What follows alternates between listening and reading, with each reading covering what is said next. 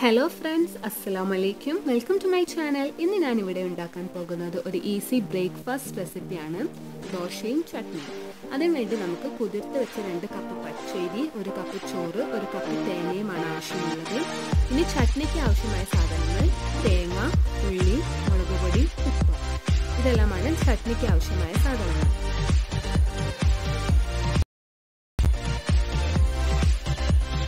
ഇനി ഇതൊക്കെ നമുക്ക് അരച്ചെടുക്കണം.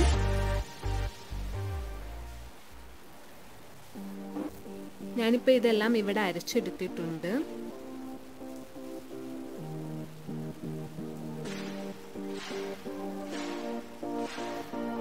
ഇനി ഒരു പാൻ ചൂടാക്കി വെക്കാം. എന്നിട്ട് ദോശ ചുട്ടെടുക്കാം.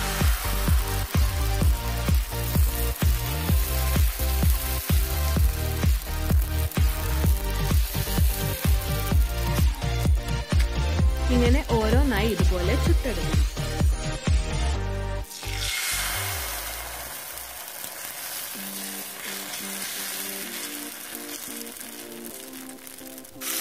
ഇനി കടുക് കരിവേപ്പിലയും ഇട്ട് ചട്നി വറവിട്ടെടുക്കും.